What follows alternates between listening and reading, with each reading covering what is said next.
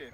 Moin, die DLG Stormann ist heute am Großen See und wir rüsten das Freibad auf für die kommende Saison. Es ist zwar noch arschkalt, man könnte fast denken, wir haben noch Winter, aber übermorgen ist der 1. Mai und damit fängt die Saison an. Deswegen fangen wir jetzt an, die Leinen einzuziehen, bauen die Schwimmleitern wieder an die Stege, damit die ersten Schwimmer loslegen können.